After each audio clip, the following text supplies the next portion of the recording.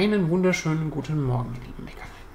Ihr habt schon lange keinen Content mehr von mir bekommen, beziehungsweise Content zwar schon, ihr habt schon mal was bekommen zwischendrin, was schriftlich ist, aber das habe ich wieder runtergenommen, weil es einfach viel zu viel ja, negative Vibes entsprechend verursacht hat und wo ich sage, okay, muss nicht sein, das muss man nicht öffentlich diskutieren, hat ja auch der eine geschrieben, ist okay, nehmen wir runter. Aber es gibt positive Nachrichten, es gibt aber auch negative Nachrichten. Und das sind positive Nachrichten als auch negative Nachrichten, die, mir, die mich beschäftigt haben und die mich davon abgehalten haben, Content zu veröffentlichen. Zum einen, die Boxen für den Kleber sind da. Und die Labels für den Kleber sind da. Das heißt, wir sind jetzt gerade dabei, die Kickstarter-Kampagne fertig zu machen, alles zu verpacken, online zu stellen, uns Gedanken zu machen, zu wie viel verkaufen wir das und dann geht es hoffentlich bald live. Das ist schon mal die gute Nachricht. Ähm, die zweite gute Nachricht ist, dass Isan entsprechend die erste Lieferung jetzt für dieses Quartal jetzt bald wieder kommt. Ich weiß jetzt nicht, was kommt. Er hat jetzt einfach mal das, was er auf Lager hatte, gesagt, okay, er schickt mir rüber.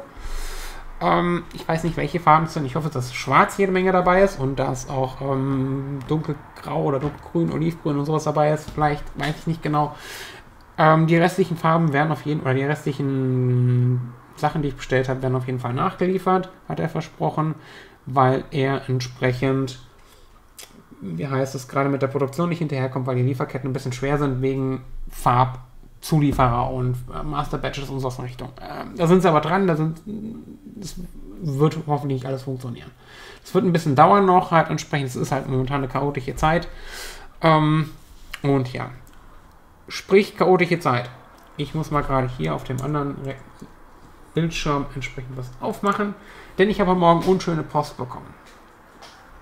Ähm, ich hole jetzt mal ein bisschen weiter aus.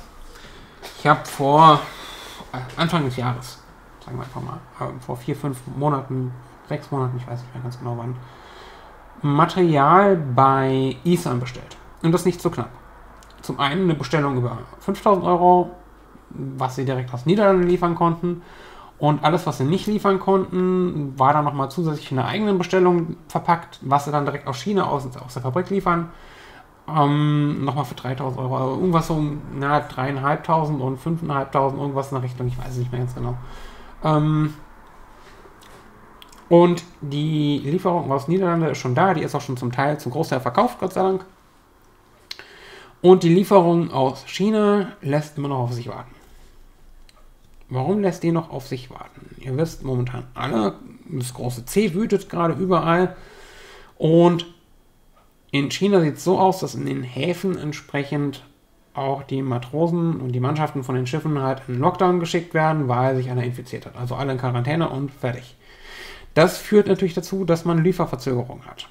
Und das führt dazu, dass durch solche Lieferverzögerungen und auch, was haben wir beim ersten Lockdown gesehen letztes Jahr, ähm, die Frachtpreise durch die Decke schießen. Weil ersten, letztes Jahr war es so, es gab nicht genug Frachtmaschinen. Man hat versucht, verzweifelt Flugzeuge in Frachtmaschinen um, umzubauen, damit man Sachen transportieren konnte, weil der Personentransfer halt entsprechend mm, direkt von einem Moment auf den anderen zusammengebrochen ist und man normalerweise mit dem Personenverkehr halt entsprechend auch nochmal ähm, Fracht mitliefert.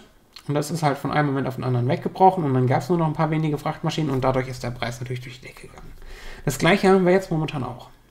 Und bei den Bestellungen, die ich sowohl aus Niederlande als auch aus China getätigt habe, sind normalerweise immer die Preise komplett mit inbegriffen. Er hat mir jetzt nicht bewusst irgendwas gesagt, halt entsprechend, dass es jetzt anders aussehen würde. Die Bestellung ist so zustande gekommen, dass ich eine große Bestellung abgeschickt habe und er gesagt hat, ja, das können wir aus Niederlande liefern, aber das Geht leider nicht, haben wir nicht genug vorrätig, wir können es halt nur aus China liefern. Ich so, okay, gut, dann ist mir egal, dann liefert es halt aus China. Just do it. Geld überwiesen, Geld da, war am gleichen Tag noch da. Das heißt, die haben jetzt schon ein paar Monate, vier, fünf Monate das Geld da liegen und konnten damit also arbeiten. Die haben also quasi von mir einen Vorschuss bekommen, konnten Produktionsmaterialien kaufen und konnten das dann produzieren. Was ich erstmal für einen langjährigen Geschäftspartner auch tue. Ja, da habe ich gar kein Problem mit. Um, ähm, und da bin ich eigentlich auch nicht in der Hinsicht so drauf, dass ich sage, okay, wir machen jetzt 50 davor, 50 danach entsprechend. Muss nicht sein. Unabhängig davon, ob jetzt die Bestellung bei ähm, Isan eigentlich fast immer fehlerhaft waren und irgendwie immer irgendwelche Nachlieferungen kamen oder irgendwelche Goodies beim nächsten Mal drauf kamen oder sonst was in der Richtung. Mm. Dann kam jetzt die Ware in Bremen an und die Spedition in Bremen hat mir geschrieben, ja, okay, also einen Brief geschickt, ja, ist angekommen, wir brauchen die Zollinformationen. Habe ich gesagt, okay, ist kein Thema und wir brauchen die Rechnungsinformationen für die Rechnung. Und dann bin ich hellhörig geworden, weil in der ursprünglichen Rechnung von China hatte ich Frachtkosten drin. Die Frachtkosten, sage ich jetzt mal so, sind auf dem Niveau, wie ich die normalerweise auch für andere Hersteller aus USA, Irland und sonst woher bezahle. Also hat sich nicht wirklich unterschieden. Die Frachtkosten waren jetzt da nicht wirklich überteuert, nicht wirklich günstig. Von daher bin ich davon ausgegangen, von Tür zu Tür. Dem ist aber anscheinend nicht so. Und ähm, das hat mir dann auch der gute Herr von Isan später bestätigt, dass er gesagt hat, ja, ähm, du musst nochmal für die Fracht von Bremen nach Kelkheim aufkommen das war erstmal so ein Streitpunkt, wo uns erstmal so ein bisschen eine Diskussion äh, ausgebrochen ist. Eine, eine, am Schluss auch eine ziemlich heftige Diskussion, muss ich auch sagen, von mir, weil ich sauer war, weil er mir das vorher nicht gesagt hat. Um, ähm, und ich bin sauer geworden, weil er mir unterstellt hat, dass ich explizit wollte, dass das aus China geliefert wird. Und dann habe ich mir gesagt, nee, ist nicht so. Ich habe nur gesagt gehabt, ja, okay, dann liefer halt aus China, weil es halt nicht anders geht. Hätte es aus Niederlande gegangen, hätte ich gesagt, dann liefer es bitte aus Niederlande. Warum soll ich sagen, liefer es aus China, wenn es viel, ein Vielfaches teurer ist als aus Niederlande? Macht gar keinen Sinn. Nächster Streitpunkt war, dass er mir gesagt hätte, dass das Ganze bis Bremen geliefert wird und dass es dann von da aus von mir selbst weiter verschifft werden muss. Was er später wieder revidiert hat, wo er gesagt hat, okay, ist auf beiden Seiten Fehler passiert. Und dann habe ich gemeint, okay, gut, ja, dann ist es so. Er hat, hat auch bestätigt schriftlich entsprechend, dass es dann entsprechend von ihm ein Versäumnis war in der Routine, einfach zu sagen, okay, dass die Frachtkosten von Bremen bis hierher auf meine Kappe gehen. So, jetzt haben wir die Situation, jetzt haben wir die Kuh auf dem Eis, dass die Frachtkosten von Bremen bis hierher nochmal inklusive allem, also Zoll, Zollabfertigung, Lagerung, äh, was, was, was weiß ich, alles drum und dran, Steuern und so, ähm, Einfuhrsteuer und hast du nicht gesehen, nochmal 1600 Euro sind für eine halbe Tonne. Das ist natürlich schon entsprechend für so eine Menge ist das schon ein Klopper. Ja. Ähm, ich glaube, der Transport alleine von Bremen bis hierher ist nur ein kleiner Teil davon, aber der Rest ist halt dicker, dicker Dämpfer. Und selbst wenn es ohne Steuern sind, sind wir noch bei irgendwas um die 1000, 1100 Euro oder so in Richtung. Ja? Also ist auch nicht ganz ohne. Ähm,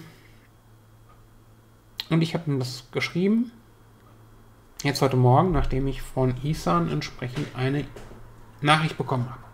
Und ich habe ihm das geschrieben aufgrund der Nachricht und war auch echt sauer und habe ihm geschrieben, okay, nur um dich wissen zu lassen, die Frachtkosten von Bremen bisher sind 1600 Euro inklusive allem. Ist also im Vergleich zu den Preisen, die ich vorher hatte, nochmal ein gutes Stück teurer. Das ist echt ein Dämpfer. Er hat mich ja vorher mir immer vorher gesagt, dass, da würde ich nicht die Wahrheit sagen und hat auch lange darauf umgeritten. Und wir waren uns am Schluss aber einig, okay, ja, ist gut. Ich mache das jetzt und dann ähm, kriegen wir da schon irgendwie eine Kuh vom Eis und finden eine Lösung. Weitere Baustelle vorn dran war, dass es über die Zeit rausgekommen ist, okay, wir verkaufen das Zeug auf Amazon.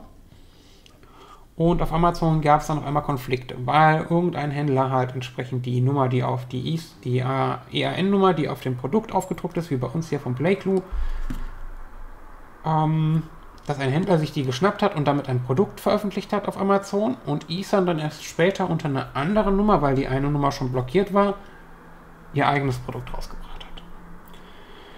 Ich habe mich dann an das Original dran geheftet. Und jetzt bekomme ich, also habe ich vor, vor längerem schon von Ethan gesagt bekommen, ey, dann musst du aber auch, wenn du auf Amazon dieses Zeug verkaufen willst, musst du einen offiziellen Reseller-Vertrag unterschreiben. Dann habe ich mir das durchgelesen und hat es dann gelesen, okay, ich muss für das Produkt meine eigenen ERN-Nummern äh, nehmen. Das bedeutet auch, dass ich mir meine eigenen Labels drucken muss. Wenn ich diese China-ROS-Importzeichen entsprechend dann ähm, ja, es das nicht mehr verwenden darf, sondern halt selbst das draufpacken muss, muss ich das natürlich auch mit einkalkulieren. Ähm, die muss ich dann natürlich die Lizenzen holen, weil ich es natürlich ordentlich machen möchte. Ähm, ich muss natürlich den grünen Punkt mit einrechnen, weil ich dann natürlich nicht mehr als äh, Händler, sondern als offiziell quasi als Hersteller irgendwie so quasi fungiere und dann die Verpackung quasi mit ein, einkalkuliert wird. Klar, ob das am Schluss wirklich so hart kommt, ist nochmal eine andere Sache, aber das muss ich halt erstmal alles in meine Kosten mit einkalkulieren. Allein die ERN-Codes für die breite Produktpalette, die wir von IFAN bisher angeboten haben, kostet im Jahr 170 Euro wenn du offizielle Codes haben willst, die auch wirklich langfristig von Amazon akzeptiert werden. Die müssen natürlich aufgeklebt werden. Allein die Etikettierung kostet auch nochmal irgendwas um die 20, 30 Cent pro Label entsprechend, weil es muss ja nicht nur gedruckt werden, es muss ja auch aufgeklebt werden. Die ganzen Logos und alles drum und dran muss man ja auch mit in den Preis einrechnen. Das ist also am Schluss gar nicht mehr wirklich rentabel und das nur dafür, dass entsprechend ich das Produkt dann nochmal auf Amazon verkaufen darf. Und wir sind uns am Schluss einig geworden, okay, ich habe noch einen Bestand bei Amazon liefern, liegen. Weil mit dieser Idee ist er erst gekommen, mit diesem Vertrag ist er erst gekommen. Sorry, ich muss mal einen Schluck trinken.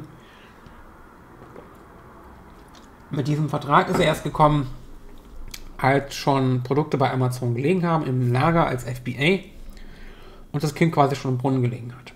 Und wir waren uns soweit einig, dass ich die Produkte erstmal abverkaufe. Das sind jetzt momentan noch 17 Rollen, die da liegen, plus nochmal 50 Kilo von PLA Schwarz, die sich momentan nicht verkaufen, weil einfach das Ganze schon auf so einem generischen Produkt liegt, was ich selbst erstellt habe mit einer eigenen ERN-Nummer.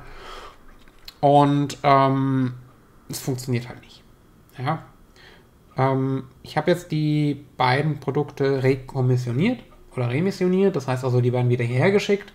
Ich werde auf Amazon alle Produkte offline nehmen und der Grund dafür ist folgender. Ich lese euch das mal kurz vor.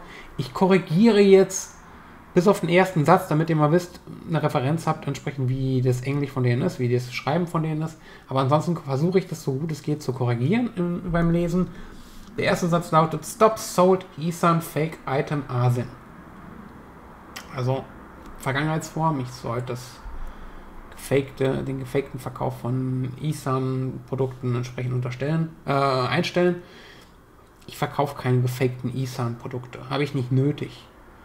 Ja, die Produkte, die ich verkaufe, habe ich bei ISAN direkt bezogen. Ich habe eine Rechnung mit Stempel von ISAN drauf, dass das alles offiziell ist und dass das alles okay ist. Ja, und habe das auch langjährig bei ISAN entsprechend immer eingekauft. Also ich habe da nicht nötig. Ich habe auch sogar auf der Form Next mit ISAN direkt besprochen und entsprechend ausgehandelt und bin auf den Herrn verwiesen worden. Ja, der hat mich kontaktiert, nachdem ich am Stand von ISAN auf der Form Next entsprechend meine Visitenkarte hinterlassen habe. Vor ein paar Jahren. Ich habe es also nicht nötig, irgendwelche Fake-Produkte zu verkaufen. Dafür habe ich hier 3D Fuel. Ganz ehrlich, das ist ein deutlich besseres Material, mit denen komme ich deutlich besser klar. Und wenn da irgendwas nicht läuft, wie es ist, dann kann ich mit denen reden, ordentlich reden. Mit denen kann man auch reden. Und die sind sich nicht so fein dafür wie bei ISA. Der Rest. Uh, to who, whom it may concern. Also wen es interessiert. Ist auch schon mal eine merkwürdige Formulierung, aber okay. Um, please be noted that it is the last message we are sending before filling an official claim. Also die sagen, es ist jetzt die letzte Nachricht, die du von uns bekommst, die letzte Warnung, die du von uns bekommst, bevor wir eine offizielle äh, Anzeige entsprechend ausstellen. Ich vermute mal bei Amazon entsprechend. We notice that you are not authorized reseller for eSun branded products, but you are selling our eSun listing, bla bla bla bla bla. Also, Ihnen ist aufgefallen, dass ich kein autorisierter Verkäufer bin, aber entsprechend das Listing entsprechend verkaufe. Ja, aber ich gehe mal ganz ehrlich davon aus, wenn die mir das Produkt verkaufen, ja, ähm, und ich das schon seit Jahren bei denen kaufe und die bisher noch nie Probleme hatten und ich auch schon mit denen vorher kommuniziert habe, ey, ich verkaufe das Zeug auf Amazon und die sich bis letztens nicht beschwert haben, dass das auch bisher kein großes Problem war. Ja, da muss ich echt sagen, nach deutschem Recht gehen wir aber nach drei Jahren gehen wir von Gewohnheitsrecht aus. Ja, ich meine, so lange sind wir noch nicht auf Amazon, aber es ist halt echt fragwürdig. As you maybe noticed, selling ESOP products is an illegal action that seriously in breach of trademark law and Amazon policy. Also, wie ich bestimmt schon mitbekommen habe, ist das Verkaufen von ESOP-Produkten eine illegale Handlung und ein, äh, wie ist es, echt ernstzunehmender Bruch von Trademark-Gesetzen, äh, also von, von, von Markenrechtsgesetzen und äh, Amazon-AGBs. Lasse ich jetzt mal dahingestellt. Ja? Also, ähm, ihr merkt schon, mit welchen Bandagen, Bandagen da gekämpft wird. Request that you follow the uh, follow our instructions. Remove your official eSun uh, product your offers from all eSun product pages on Amazon within 24 hours and do not list items on eSun product pages in any future. If you don't comply this uh, demands, we will have no choice, but we will fill an official claim with Amazon Seller Department. Also, ich soll innerhalb von 24 Stunden alle Produkte, die ich verkaufe, von, Amazon, von eSun entsprechend einstellen. Ich darf sie nicht mehr verkaufen ähm, auf Amazon zumindest mal nicht mehr. Ob es auf unserer Webseite so ist, weiß ich nicht genau. Aber ansonsten würden sie eine Anzeige bei Amazon machen wegen Markenrechtsverletzung und hast nicht gesehen und ja. Hm. Mir fällt dazu nichts mehr ein. Ja. Also, abgesehen davon, dass ich das offiziell von denen gekauft habe uns bisher eigentlich, glaube ich, eine, vielleicht auch maximal zwei Bestellungen von denen gab, die ohne Fehler ausgeführt worden sind und ansonsten immer nur Fehler von denen passiert sind. Und ganz ehrlich, es sind keine Fake-Produkte. Auf jedem Produkt von denen ist ein Stempel drauf. Ja, hier ist offiziell Isan. Ja, ist offiziell. Und mir vorzuwerfen, wo ich denen das Geld monatelang im Voraus gepackt, hingepackt habe und alles drum und dran. Immer meine Rechnung pünktlich bezahlt habe und, und, und, und. Mir dann vorzuwerfen, ich würde Fake-Produkte verkaufen, obwohl ich sie direkt von denen bezogen habe, ist schon echt eine harte Nummer. Ich habe sie jetzt remissioniert, die ISAN-Produkte, die wird es nicht mehr auf Amazon geben. Ich werde auch sonst den ganzen Kram bei Amazon erstmal einstellen. Ähm, ganz einfach, weil es nicht so gut funktioniert hat, wie ich mir das gedacht habe. Dann werde ich nochmal gucken, wie wir uns da aufstellen, dass das Ganze besser funktioniert. Aber es ist echt schon, man fällt so ein bisschen vom Glauben der Menschen ab. Ja, es sind mit Sicherheit auf beiden Seiten Fehler passiert. Aber das schlägt echt den fasten Boden aus. Und da muss ich echt sagen, also ich habe vorher schon gesagt, als der gute Herr dann am nächsten Tag, nachdem wir erstmal uns einig waren, dass auf beiden Seiten Fehler passiert sind und dass wir dafür eine Lösung finden müssen, um die Kuh vom Eis zu bekommen. Am nächsten Tag kam er, ich hätte ihn ja angelogen und oder hätte ich die Wahrheit gesagt. Wie war seine Wortwahl genau? Ich kann es nochmal. Hm.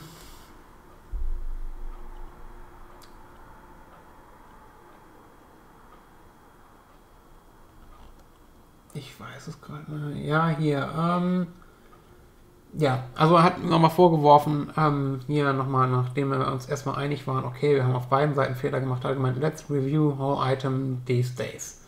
First you said, okay, 10 US Dollar per Kilo, bla bla bla, that's not true. Ähm, ich habe entsprechend behauptet, dass ich das gerne aus China haben wollte, wo ich sage, nee, wenn es halt nicht anders geht, dann ist es halt so. Und dann habe ich gesagt, okay, pass auf, nach dem Punkt, streich den Deal. Ist mir egal. Schickt mir mein Geld zurück, streich den Deal, lass das Zeug von Bremen nach Niederlande liefern. Das wollte er dann auch nicht. Also nehme ich es jetzt quasi notgedrungen an, verkaufe das noch ab und dann ist Ende. Und das hat mir so ein bisschen den Tag vermiest jetzt. Ihr könnt ja mal ein bisschen in die Kommentare schreiben, was ihr von der Art und Weise von Isan haltet. Ähm, was ihr jetzt machen würdet. Also klar, rechtlich gesehen kann ich quasi nichts machen, weil die sitzen in China, ja. Ähm, da habe ich quasi keine Handhabe gegen. Das heißt also, ich werde das jetzt annehmen ähm, und entsprechend danach den Kontakt einstellen. Weil das ist mir einfach zu blöd. Das ist mir einfach zu Kindergarten, entsprechend damit rumzuhandhaben. Ähm, wenn die so ihre Marke breit treten wollen, dann können sie es machen, aber ohne mich. Weil das ist kein Geschäftsgebaren. Das ist in die Enge treiben und knebeln und ähm, Platz für spielen und anderen keinen Platz lassen, aber sagen, ja, wir wollen jetzt zusammen Geld verdienen. Das funktioniert so nicht. Ja, bei 3D Fuel zum Beispiel, als die gesagt haben, ja, du darfst unsere Produkte auch auf Amazon verkaufen, haben wir uns darauf geeinigt, ich mache den deutschen Markt, die machen den irischen Markt und dann gucken wir, wer den Rest macht.